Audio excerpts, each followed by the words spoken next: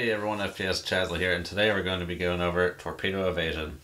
Uh, this is going to be a very basic torpedo evasion video, uh, but on that front, am I going to make a very advanced one? Maybe, I don't know.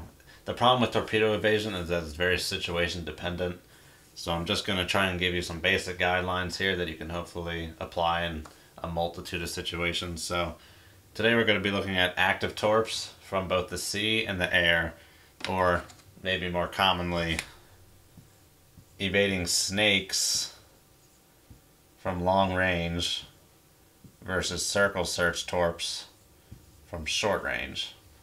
So that's what we're going to be looking at today. So let's get started with active torps C, snake long range. First, also, let me just say I apologize if the colors are not what I say they are. I'm colorblind, but bear with me. The fact that you can tell the colors are different is all that matters. Alrighty, so this is situation number one I'm talking about, and this is probably one of your most common situations. So, you got an enemy torp coming your way, and it's doing snake. It's doing snake coming your way. So, what is the best way to evade such a torpedo? Now, you may think the best course of action would be to turn tail, turn tail and run here. You'd think that that could that could be the best course of action. I know I did for the longest time, but this is analogous to being stuck on. This is analogous to walking on a train track, hearing a train coming, and then just running away from the train on the train track, when you can simply step off of this of the train track and get out of the way. So the best course of action here is actually the sidestep. Now our, our guy was already kind of going this way, so I'm gonna do we're gonna do a sidestep to this direction here. So we're gonna sidestep this way, and the best part about this is that you don't even need to do it at full speed really. The sidestep, all you're trying to do is get outside. All you're trying to do is really get outside this seeker cone. So by the time this torp gets up this way,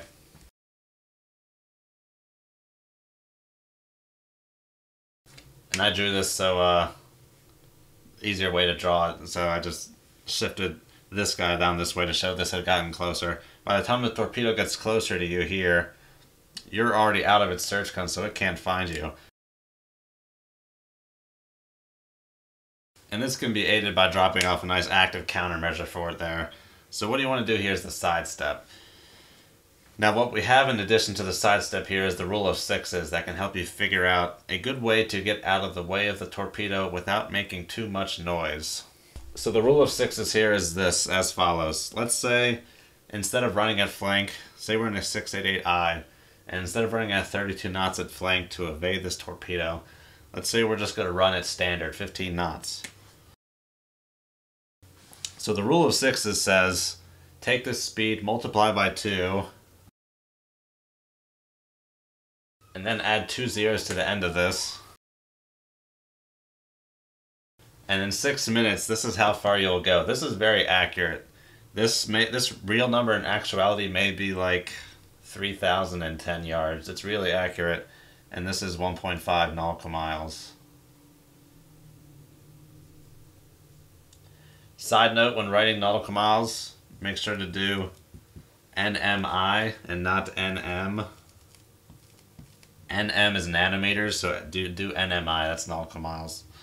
So if you wanted to sidestep this torpedo, provided you had a good idea of how far away it was coming from, you could uh, do something like this. In six minutes, you could get 3,000 yards away.